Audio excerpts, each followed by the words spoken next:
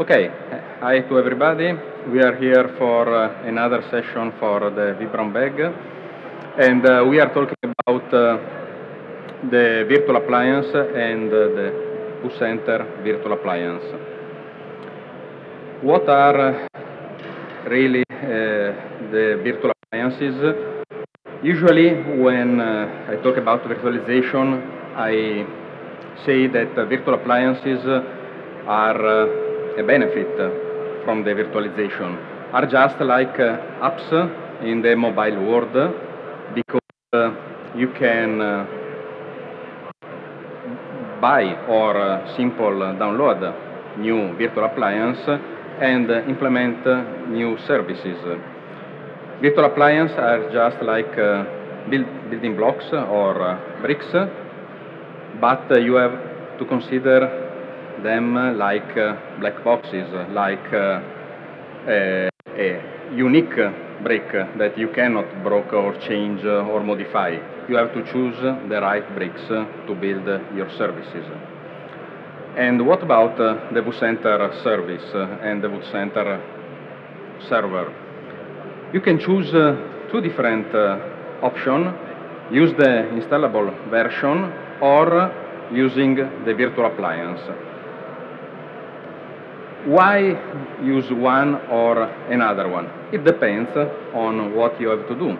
Because actually in uh, 5.5 version, the features are not exactly the same, will be probably changed in next uh, release. The limits uh, could be the same, but uh, again, it, it depends on how do you implement uh, the virtual appliance. So, there are a lot of pro on uh, using uh, the vCenter virtual appliance. Is uh, a single brick, a single block, uh, is uh, an all-in-one solution, and uh, this is really powerful because you have everything, included the web client, for example, the, the server part of the web client, and the download itself is really easy and smaller compared to the vCenter server. The OVA file is smaller than the ISO file from uh, the Windows version. It's really fast to deploy or to redeploy or uh, to update, and uh, of course, is the virtual appliance does not require a Windows license just because it's uh, Linux based. But uh, as uh, told before, there, are, there is a perfect match on what you can do with the Windows version and uh, the Linux, the virtual appliance uh, version. So actually, there are not the same uh, feature, and actually, some components, some VMware or uh, third-part components are not usable with the virtual appliance. For example, Update Manager or View Composer, they require Windows system. You can install on a separated virtual machine or system or Windows system, but you cannot have them inside the virtual appliance. The database itself, uh, there is a embedded database that is mainly a, a Postgres version, but actually in 5.5 uh, ver- release there are some limits and the maximum number, for example, for hosts or VMs are not the same of the full version or the virtual appliance version with a, an external database. But as you can see, starting from 5.5, those numbers are uh, pretty interesting for uh, small and medium uh, environment because you can have lot of uh, VMs or hosts uh, without a, need of uh, also an external database that mean another license that you have to buy that uh, could be costly, could be another system that you have to manage, for example. Next version will uh, probably change uh, something in this because uh, probably the limits uh, will be the same also with the embedded database version. If this become true, do you really need an external database server? Why? The reason is mainly to or manage the database, but uh, usually you don't, or simple have more limits, have more scalability. But uh, if you can have with a single brick all the power of a full version of uh, server, why use an external database? At this point, uh, if uh, is Oracle or SQL Server or third-party database, that doesn't really mean change if the embedded database can handle all the maximum number, the maximum limits.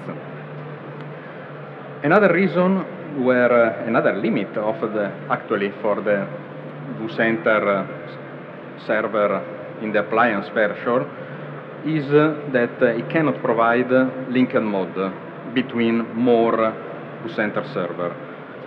This because the actually the linked mode is based on Adam or Active Directory in user mode that can work only on a Windows server without the domain controller uh, installed.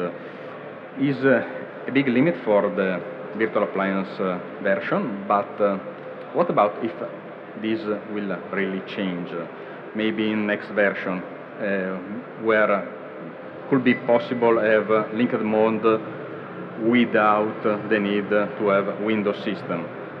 And also you have to consider if you really need linked mode because, uh, for example, in uh, View or uh, Cloud Director, you can collect and manage multiple vCenter server that maybe are in linked mode, but maybe not. It doesn't really change so much.